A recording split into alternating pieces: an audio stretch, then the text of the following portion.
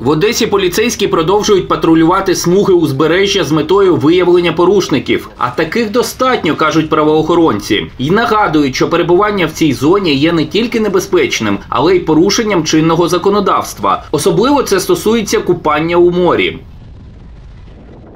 Будь ласка, не порушуйте правила, тому що зараз військовий стан, знаєте, заборонено перебувати на морі, на пляжі.